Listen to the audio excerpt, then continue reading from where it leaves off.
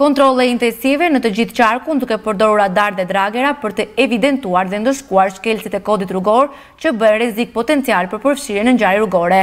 Kontrollet intensive me qëllimin e vetëm parandalimin e ngjarjeve rrugore me pasoja për jetën dhe shëndetin e përdoruesve të rrugës.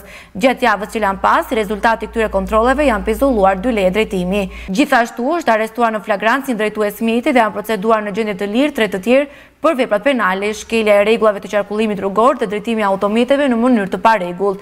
Njëzet drejtues mjetesh janë ndëshkuar për mosvendosje të rripit të sigurimit, gjashtëqind e dhjetë masa administrative për tejkalim të shpejtësisë së lejuar, evidentuar me radar, janë ndëshkuar nëntëdhjetë e një drejtues mjetesh për parkime të gabuara, janë ndëshkuar shtatëqind e tetëdhjetë e tre të tjerë për shkelje të ndryshme të Kodit Rrugor. Policia Rrugore e Korçës apelon për të gjithë përdoruesit e rrugës që të zbatojnë me rigorozitet rregullat e qarkullimit rrugor, të moderojnë shpejtësinë, të vendosin rripin e sigurimit, të mos përdorin celularin gjatë drejtimit të mjetit dhe të mos kryejnë parakalime të gabuara.